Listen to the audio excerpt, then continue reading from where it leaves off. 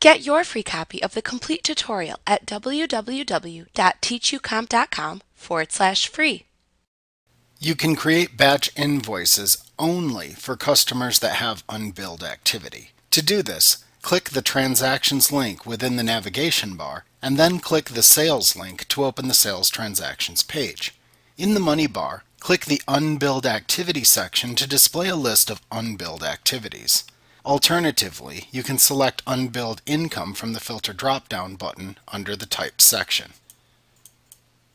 From this page, select the unbilled activities for which you want to create invoices from the list displayed. After you have chosen the unbilled activities, click the Batch Actions button. Then select the Create Invoices command to automatically create invoices for the unbilled activities you selected. QuickBooks Online Plus will create the invoices and the items you selected should be removed from the unbilled activity list. You can then click the Clear Filter or View All link to remove the filter options and view the full list of sales transactions again. Like what you see? Pick up your free copy of the complete tutorial at www.teachucomp.com forward slash free.